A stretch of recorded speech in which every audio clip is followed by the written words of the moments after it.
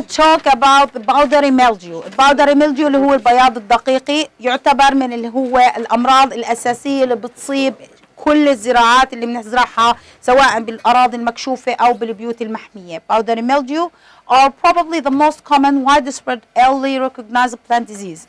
أول الإصابات كانت من أيام زمان كانت دائما أكثر إصابات للنباتات سواء الخضروات أو ال shrubs أو ال trees بمرض ال powdery mildew فهو من أكثر الأمراض معروفة حول العالم وبتصيب أغلب تقريبا يعني كل النباتات اللي هي ممكن إنك تزرعها.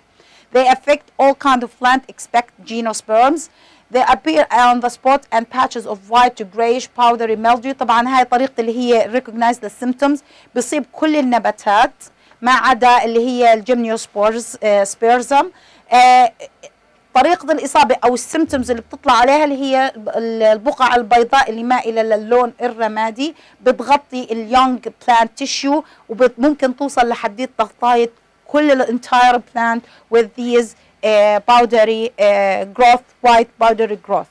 هلأ ال tiny وال pinhead size spherical first white layer of yellow brown and they as they develop بصير لونهم the black uh, sclerotica may present in single or group and white grayish mildew. بداية الظهور للإصابة بتبدأ بالشكل اللي هي small spores موجودة على الأوراق ولكن مع اشتداد الإصابة وتطور الإصابة بتبدأ تظهر مجموعات من اللي هي كلستر ثريكال اللي هي بتنتشر وبتكون يا إما وحدة أو مجموعات بيكونوا متشابكين مع بعض. It is most common on the upper side of the leaf but it also affect the underside. أكثر أكثر الإصابات بتيجي على الأوراق العلوية السطح العلوي للأوراق ولكن مع اشتداد الإصابة ممكن تنتقل للسطح السفلي ممكن توصل لل young shoot للل leaves لل bud لل flowers and the young fruits. Fungi causing powdery mildew are obligate parasite من الحش من الفطريات اللي هي الإجبارية. It can culture and artificial nutrition ما ممكن إحنا نقدر نعزلها على اللي هو ال growing media يعني أنت إذا بتجيب powdery mildew بتحاول تعزلها على normal growing media من الصعب جدا إنك تعزلها لأنها هي من الفطريات الإجبارية. لكن ال powdery mildew لبعض الأمراض مثل ال Blumeria graminis وال Blumeria hordei was grown in culture خاصة اللي هي ال powdery mildew They produce mycelium that grow only on the surface of the plant tissue but it does not invade the plant tissue. تتذكروا في بداية لما حكينا عملية ال invasion ال powdery mildew ما بيخترق اللي هو الخلايا النباتية الداخلية ال intercellular membranes ولكن بيكون superficial وبيبدأ بإرسال ال mycelium داخل النباتات وبيبدأ عملية اللي هي ال growth داخل النباتات. They obtain a nutrient from plants sending the hostorium into the epidermal cells and the plant organ. هاي عملية اللي هي الجروث وعملية اللي هي الاستفادة من النيوترينت من خلال الهوستوريوم. طبعا الميسيليوم produce short conidioform on the plant surface عشان تعمل الديسيمينيشن. Each conidioform have a chain of rectangular ovoid round conidia على حسب اللي هو السبيشيز. الكونيديا يا اما بتكون يا اما بيضاوية او دائرية او بتكون اللي هي أشكال اللي هي rectangulars المختلفة. هلأ لما يكون عندنا ال environmental وال nutrition condition become unavailable يعني إنه مثلا درجات الحرارة مش مناسبة درجات الرطوبة مش مناسبة حتى النبات صار قديم أو آه كبير وما بيوفيش باحتياجات التغذوية للمرض. بيبدوا هدول produce اللي هي cleistothecia أو وحدة أو تنتين اللي بيحتوي على ال asci عشان تعمل عملية ال dissemination واللي تنتشر من, من نبات لتصيب نبات جديد. ال powdery mildew بيؤدي إلى إنه are more common and cause serious diseases in cool or warm. تتذكروا ال powdery mildew ال powdery mildew كان بده إيش؟ الظروف اللي بدها تكون بده يكون في عندك warm condition وبده يكون high humidity. هذا cool بظبط warm بظبط يعني ما له إيش العامل المحدد اللي عنده؟ اللي هي humidity. يعني مثل هذا الجو متوقع ممكن يصير في عندنا powdery mildew نتوقع يكون في عندنا powdery mildew لأنه صارت في عندنا زيادة في الرطوبة. درجات الحرارة ما بين الرطوبة وما بين البرودة والحرارة فعندنا ال powdery mildew راح يكون في عندنا مشكلة. طبعا هدول عادة بيكون بال severe warm حكينا إحنا بأغلب الأمراض الفطرية بالصيف ما بيظهر لها ليش؟ لأنه تتحملش درجة حرارة عالية. ولكن هذا ال powdery عنده القدرة إنه ب severe temperature يعني درجات حرارة يعني above يعني expected يعني فوق ال 25 ممكن لل 30 yet إنه they can survive. وبنفس الوقت dry. يعني معناته حتى في الجو يكون جاف راح يكون في عندنا إصابة بال powdery mildew هلأ ال spore can release and germinate and cause infection at weather a film of water or on the surface of relative humidity is high. برضه بنرجع بنحكي من شروط إنه انتشار عملية اللي هي اللي هي attachment لل spores إنه بده يكون water film موجود على النبات الجديد.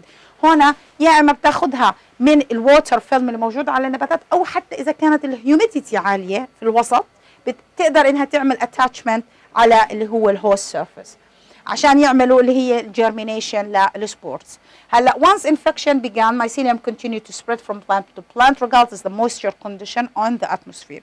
هلا مجرد ما تعمل عملية ال germination تبلش عملية الإنبات بتبدأ ال mycelium تنتشر. هلا ارتفعت الرطوبة نزلت الرطوبة ارتفعت الحرارة نزلت الحرارة ما بتتأثر. ال mycelium لأنه خلص هي عملت ال germination العامل المحدد لا هدول الظروف اللي هي الرطوبة والحرارة لعملية اللي هي germination لل spores. مجرد ما صار إنبات لل spores معناته صارت في آلية وسريعة جدا أو سهلة وما بتتأثر بالعوامل المحيطة فيها لل growth وال development لل mycelium. طبعا هدول شو تأثيرها؟ طبعا ال powdery mildew عادة من النادر لأنه obligate لما بنقول obligate معناته إنه إذا مات ال host معناته مات هو فما بيقتل ال host تبعه. ولكن شو بيؤدي؟ بيؤدي إلى إنه بيستخدم كل ال nutrient بيؤدي إلى تقليل من عملية ال photosynthesis بيؤدي إلى زيادة ال respiration ال transpiration بيؤدي إلى إنه ال growth وال development بده يتقلل بده ينخفض ولكن مش راح يؤدي إلى قتل النبات ك يعني عمركم شفتوا powdery mildew قتلكم نبات خيار ولا نبات بندورة؟ بيقتلوش لأنه هو إذا ماتت الخيار أو نبات الخيار هو راح يموت فبالتالي ما بيسعى إنه لقتله بمقارنة مع ال Alternaria. ال Alternaria أول ما بتضرب بتضرب بتحرق النبات كله كل ال system بيموت لأنها هي مش obligate parasite فمش مش فارقة عنده بنتقل من نبات لنبات. هنا لا إذا مات العائل هو بده تكون حياته في خطر فبالتالي ما بيسعى إنه يقتل بقلل بتناول منه بياخذ كل ال nutrient ولكن بحاول إنه يبقي على قيد الحياة أطول فترة ممكنة. طبعا هلأ في ال wheat وال barley because chemical control diseases is difficult. impractical is not cost effective. ممكن إنه يؤدي إلى قتل العائل. هلأ في بعض المحاصيل يعني أنت لما تكون زارع آلاف الهكتارات من القمح والشعير ويصير عندك powdery mildew من الصعب إنك ترش آلاف الهكتارات بالمبيدات خاصة إنه هذه تكاليفه لأنه المفروض أنت تكاليف الإنتاج تكون محسوبة فعادة ما ما بيستخدموا لهاش ال chemical. ب other crops مثل الكاربتس والكانتالوب والسكواش والكوكمبر والشوجر بيت والستروبرز والكلوفز هدول عادة بكي ال ال ال النباتات اللي هي بنعتبرها يعني عائدها المالي شوية أعلى. يعني إحنا بنحكي على القمح والشعير إحنا عادة بنزرعه من غير على بعلي يعني لا بنسقيه يا دوب بنحرث الأرض وبنزرع نبذر البذار وبنتركه لحد ما يجي موعد الحصاد. ممكن إذا إذا واحد عنده ماكينة يمكن يعمل عملية تعشيب ممكن يعمل يعني بالظروف الجوية اللي هي تكون dryness ممكن إنه يعمل ري تكميلي ولكن بالوضع الطبيعي إحنا زراعات القمح والشعير عندنا بعلية. مقارنة مع اللي هي الزراعات اللي هي بالبيت المكشوف أو داخل البيوت البلاستيكية للخضروات وال cash crop crops مثل ال strawberry والنباتات ال ornamental اللي هي ال الزهرة والنباتات الخضروات كلياتها. إحنا بنعمل agriculture practice فممكن إحنا نرش رش لها ل against ال powdery mildew إنه صارت عملية المكافحة نتيجة التغيرات الجوية عالية. عالية جدا. الصدى وهي الأشياء. بطل فبصير إنه بتتركها أنت بتشوف شو بيطلع معك ويعني that's we hope for the best هلأ ال control of powdery mildew in grapes and some other crops depend on the dusting of plant with sulfur. كان ال sulfur من بدايات المواد اللي هي العضوية اللي تستخدم في مكافحة العديد من الأمراض من أيام من قبل ما يجي سيدنا المسيح كانوا يستخدموا ال sulfur وال copper وهدول اللي هم المعادن اللي كانوا يستخرجوها من المناجم ومن الصخور وما إلى ذلك. لحديت هلأ ال sulfur ببعض البلدان بلش يمنعوه تماما لأنه صار إنه له شوية resistant ولكن بشكل أساسي لا زال ال sulfur يستخدم اللي هو التعفير بنسميه بالكبريت. آه، هو أكثر شيء مستخدم لمكافحة اللي هو ال powder mildew بال cereal و other annual crop بيعتمد عادة على إنك تستخدم resistant varieties إنك تستخدم أصناف مقاومة. لأنه الأصناف المقاومة يمكن لل powdery mildew مش كتير أهميتها مقارنة مع تأثير ال rust فأنت بت... لما بيكون مقاوم لل rust عادة بيكون مقاوم للأمراض الأخرى المصاحبة مثل ال powder mildew مثل ال smuts diseases وما إلى ذلك. هلا ال powder mildew control with systemic fungicide as a seed treatment or foliar sprayer. هلا طرق المكافحة لل powder mildew في عندنا طريقتين. يا إما بتستخدم seed treatment يعني أنت بتاخذ بذور النباتات اللي بدك تزرعها وبتكون مغطيها بمادة فطريات جهازية إنه مجرد ما يبلش عملية ال germination النبات بيبدأ يمتص هذا المبيد داخل ال vascular system له بيبدأ ينتقله من من الجهاز الجذري إلى بقايا بقية النبات وبينتشر فيها. أو إنك بتعمل foliar spray يعني بترش رش بالمبيدات اللي هي الجهازية لمكافحة الأمراض الفطرية.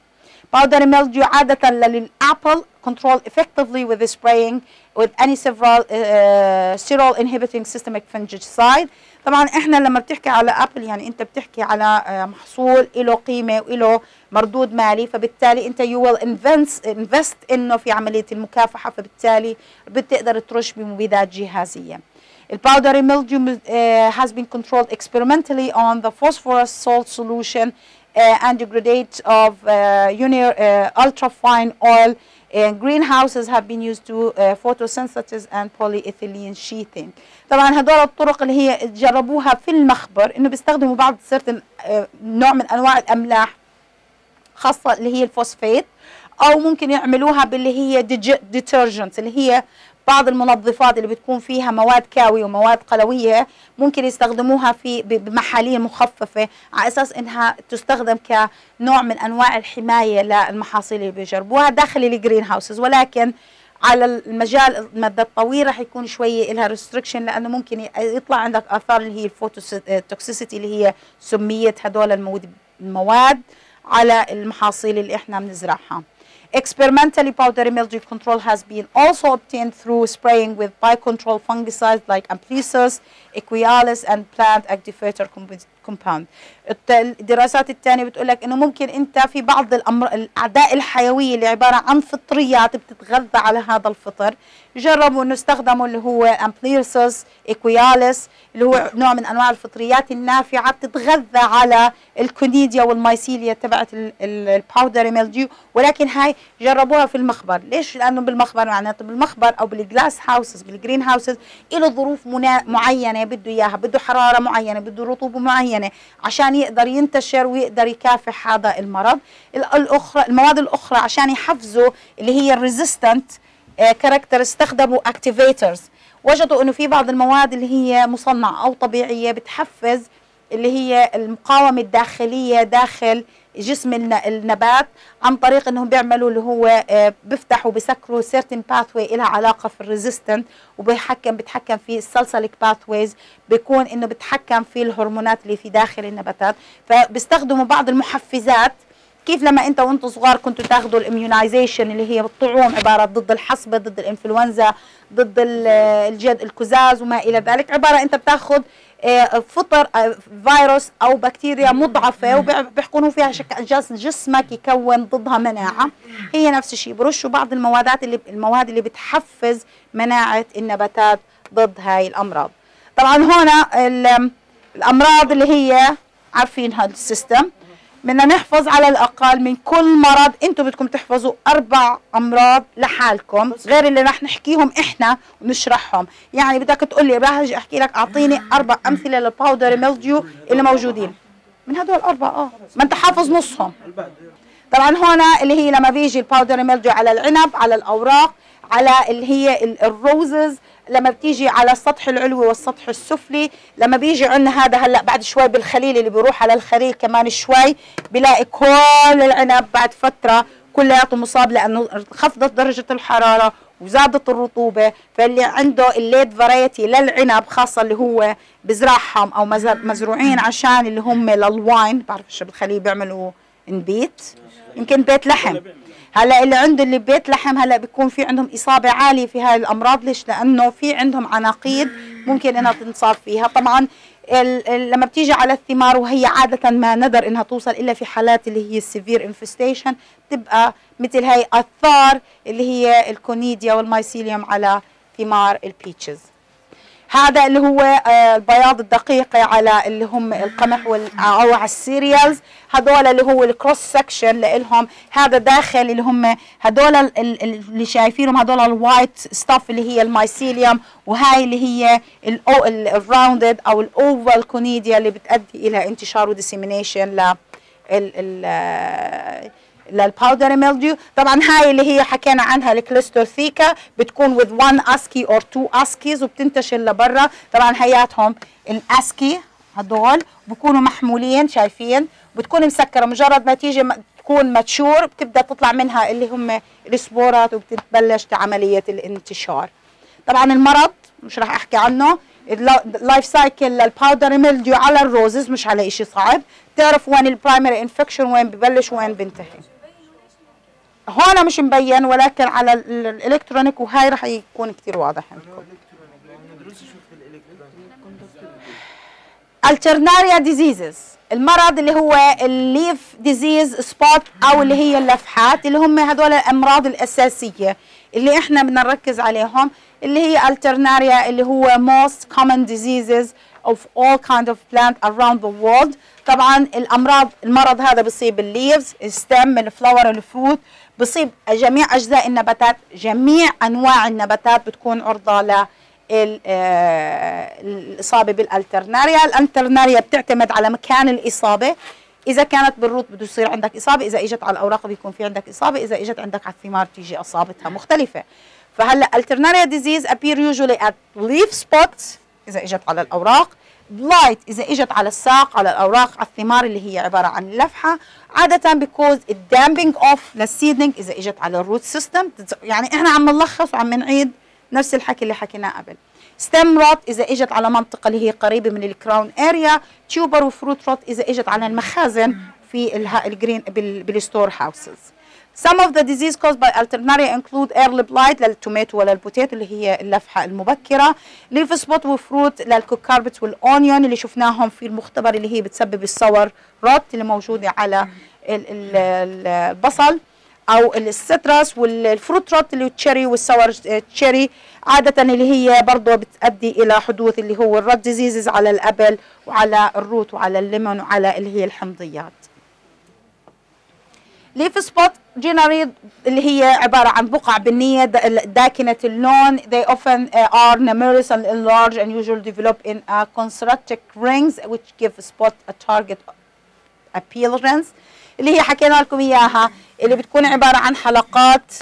هي بيكون لونها تلون بين البني والبني الغامق ولكن اللي داخلها لما بتطلع عليها بتلاقي عندك إنه الحلقات كأنك قاعد عم تلعب على هاي اللي هي اللي بتلعب فيها السهم أو اللي هي اللي هي آه شو بنسميها؟ لها مصطلح اللي هو القوس والنبل اللي هي لل target appearance. عادة ال lower senescent leaves are usually attacked first اللي هي لأنها بتكون أصلا طالعة من التربة.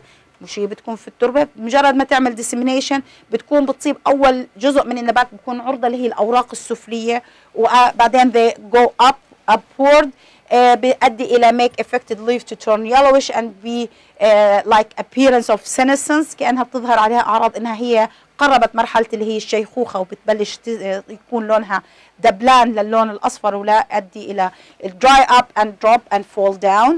Dark skunk spot develop on branches stems and plant. طبعا تذكروا الالترنال اللي شفناه في المختبر على الساق بتبين ليش؟ كأنك أنت حارق. هي عبارة عن نموات أو هي تلون لون بني على منطقة الساق وبتكون برضه نفس الشيء بالمناطق. هاي بتبلش تنتشر لحديت ما يبين أعراض كأنك النبات كلياته معرض للحرق. Stem lesion develop in seedlings and canker which are enlarged and griddle and stems and بالنهاية بيؤدي إلى قتل النباتات نتيجة انتش- انتشار المرض وتكميل أو إنه كمل دورة حياته. Uh, per long guard part of which potato tuber dark slightly skunk lesion develop and may be up to 2 centimeter on diameter and 5 to 6 millimeter in depth. لما بتيجي الالترناريا على حبة البندورة بتلاقي إنه صار في عندك داخلها. لما بتعمل الكت داخل ال tuber نفسها في صار في عندك تلون نتيجة الإصابة. ممكن توصل ل 2 سنتيمتر داخل ال tuber تحت اللي هو ال cuticle أو تحت القشرة الخارجية.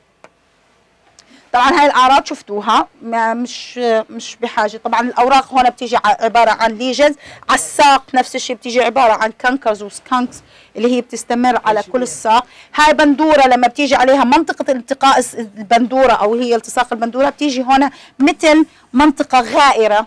من اللي هي آه، ووتري مع إصابة شديدة في الحقل هذا. شبيهة بلفحة الشمس مس. لا لا لا لا لا لا لا. الشف لف الشمس بتيجي على الجنب على الخد لأنه بتكون عرضة أكثر بتيجيش بهاي وبكونش لونها أسود هدول بتيجي على طلعت عليها بتطلع بتشوف عين الشمس بتشوف إنه بقعة هيك في. هالة آه. شمس هون ما في ص... سك- يعني منطقة غائرة لونها بأسود للون البني بتكون أقرب للعفن للرط أكثر منه ولكن ما بتكون طرية بتكون منطقة جلدية آه، صلبة شوي مقارنة مثل مع الرط.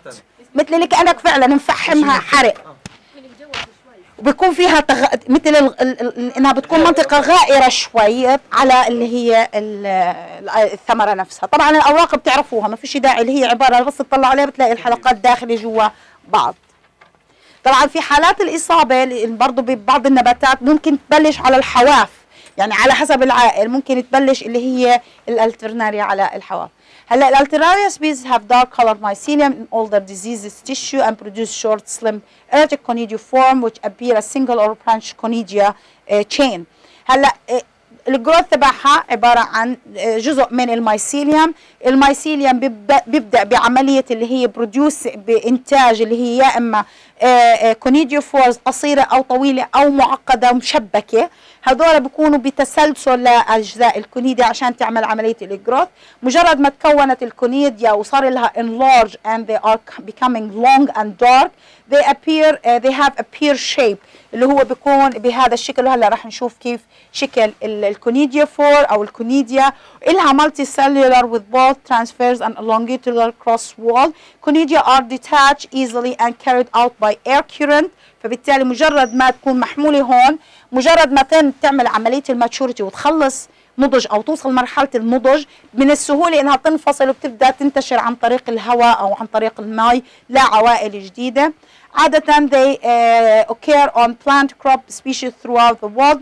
إصابتها موجودة بكل كل دول العالم. وين ما بتنزل على البطاطا والبندورة عندنا عرضة كبيرة إن يكون في عندنا اللي هي ال Alternaria blight. The spores are presented in air, dust everywhere from most common uh, fungal causes diseases in the uh, uh, the hay fever allergy. حتى هذا المرض من من كثر ما هو منتشر ممكن إنه يتغير من حالة لحالة وممكن يؤدي إلى انتشاره حوالين دول العالم أو هو already منتشر حوالين دول العالم بمختلف المحاصيل اللي بتنزرع عليه.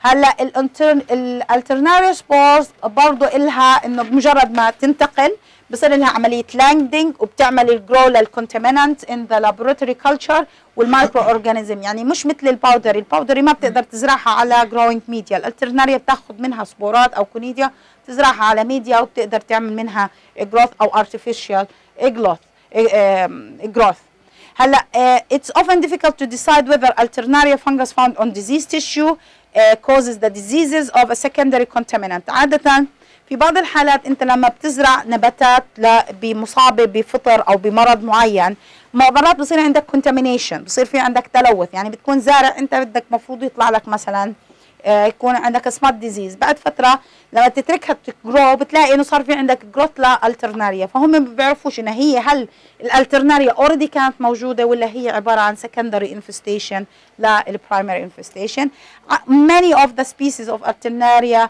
produce toxin. Some of the alternaria toxins affect many different plants whether other their host or non their host specific. هلا آه، آلية قتل ال Alternaria لعوائلها إضافة إنها بتعمل growth وبتستخدم ال nutrient حتى إنها من النوعيات الأمراض ال- ال- الأنانية اللي بتفرز مواد سامة.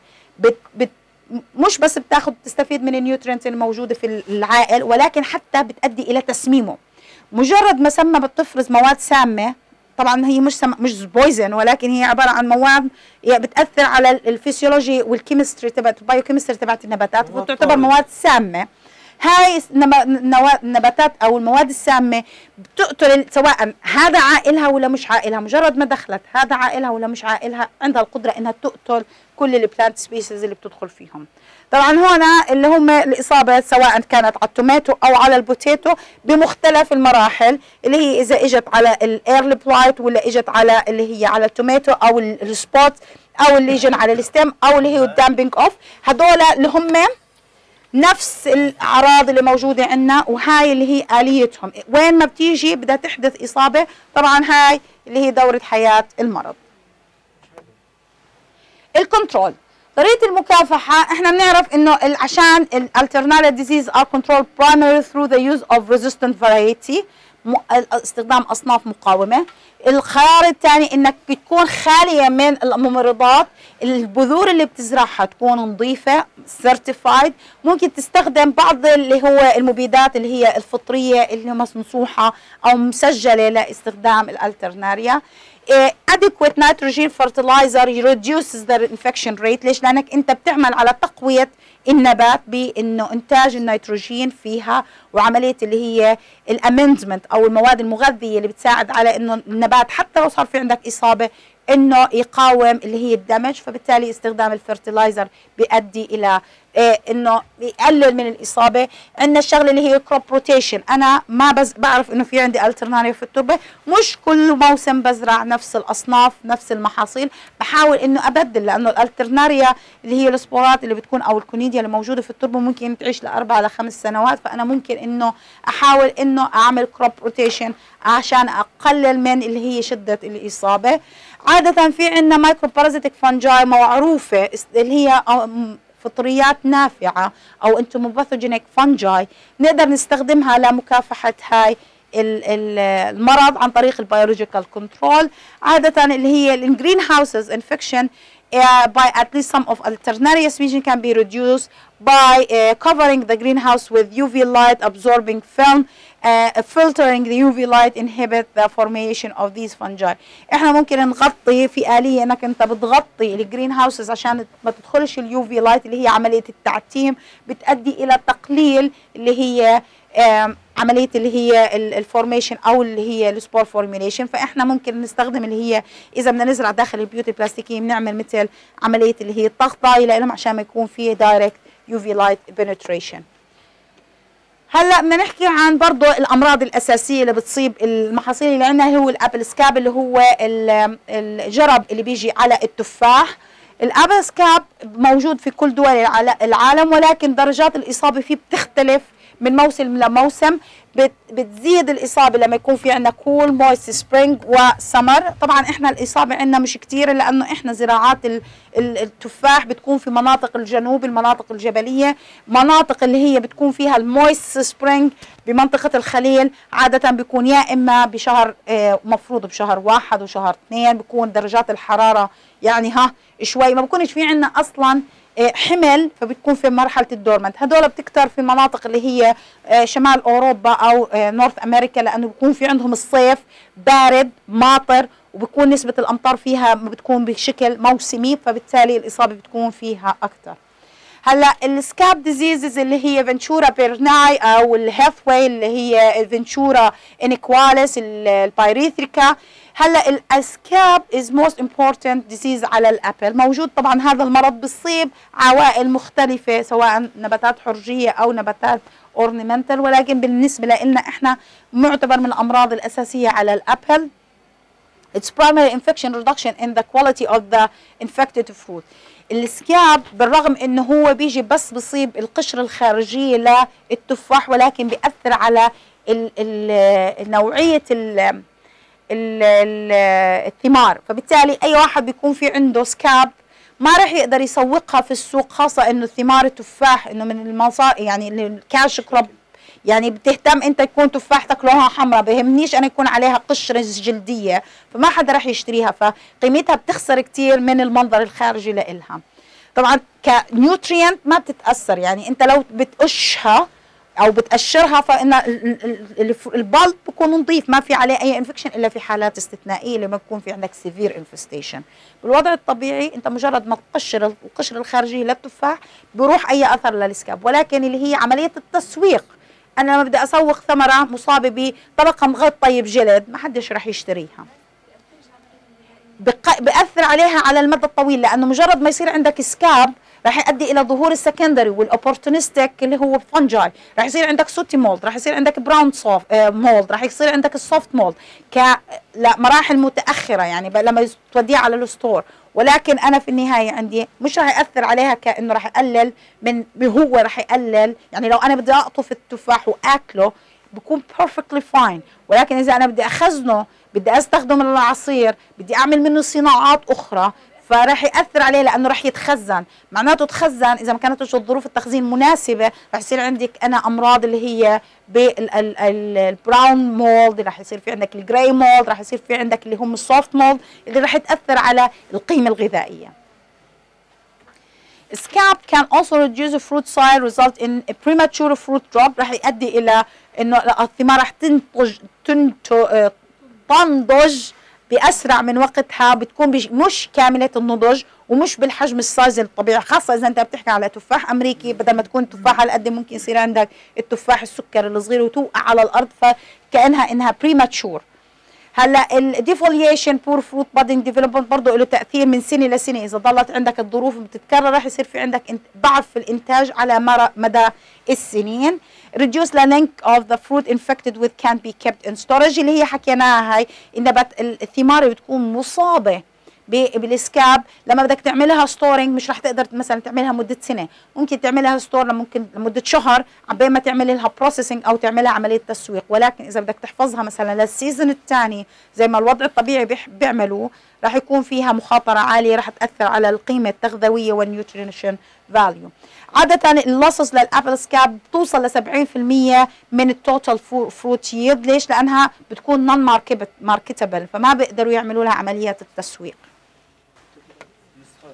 ال symptoms ال symptoms بتكون عبارة المناطق اللي هي colored irregular spots بال lower surface عادة ال young leaves آه بيظهر عليها برضه على ال buds ال lesions بتصير لونها للو بتتغير من ال soft colored بتصير لونها للبني للأخضر الغامق بتصير بتصير لونها لل gray لحديت ما يصير لونها البني اللي هو زي البني المحروق. هذه بال lesion في المراحل المتأخرة بتتحول للون الأسود وبرضه بتصير في عندها مثل نوع من الانتفاخات مثل هي لأنها صارت مثل الجلد. بصير في عندك مثل عدم انتظام في ال softness للأوراق وللثمار ال lesion لل older leaves are generally on the upper surface. From the lower surface بتظهر على الأوراق العلوية أو السطح العلوي للأوراق. للنباتات أو الثمار المصابة بصير عندك circulars عبارة عن بقع من ال lesions اللي هي بتغطي الثمار بتحول لونها للون ال velvet اللي هو البنفسجي. بعدين بعد مرور الاشتداد الإصابة بصير لونها للأخضر بتحول للون ال darker. As they progress كل ما زادت الإصابة كل ما صار اللون اغمق لحديت ما يصير لونها زي الكانكر للون اللي هو الجلدي البني المحروق. A cuticle of the fruit is ruptured and margin of the lesion fruit infected early become uh, mishappen and cankers عادة بيؤدي إلى إنه هاي الإصابة اللي بتصير بمراحل اللي بيكون لسه الثمار كلياتها ما وصلت مرحلة الماتشوريتي أنت بتحكي على شهر ثلاثة وأربعة وخمسة بتكون لسه الثمار يا دوب بلشت تعمل اللي هي انتفاخ. فبتأدي إلى إنه الثمار بتسقط قبل ما تنضج. آه وبيؤدي برضو إنه ال fruit infected عادة بتكون اللي هي توصل مرحلة ال maturity بشكل سريع لأنك أنت عم بتغير ال biochemistry لها فبتوصل تنضج أبكر فبس تنضج ولكن مش بالحجم المطلوب. يعني بدل ما يكون ال diameter أو اللي هو circumference لها مثلا يكون 75 إنش بيكون على 50 إنش. ليش؟ لأنها صارت تؤدي إلى ال prematurity السريعة. طبعا الإصابة اللي هي هاي ثمار اللي هي بتكون عندك شايفين هيك كأنها مناطق جلدية جافة بتصيب الثمار. طبعا هنا المراحل المختلفة اللي هي إذا إجت وهي لساتها بالمراحل الأولية لتطور ثمار التفاح لحد ما توصل لمرحلة ال maturity. طبعا كلها بدها تأثر على حجم الثمار. وضع الطبيعي هاي حبة التفاح اللي هي الأصلية اللي هي السليمة مقارنة مع منطقة مصابة. طبعا هدول اللي هي بتأد الأوراق اللي بتكون ظاهرة عليها ببداية الإصابة ببقع بتكون لونها بين ال velvet لل brown. طبعا هذا هو شكل اللي هو ال asca ال asci وال ascospores اللي بيكون محمول على ال perithecium هاي دورة حياتها. رح نوقف بعد دورة الحياة لهون. خلي الكنترول للمحاضرة اللي بعديها.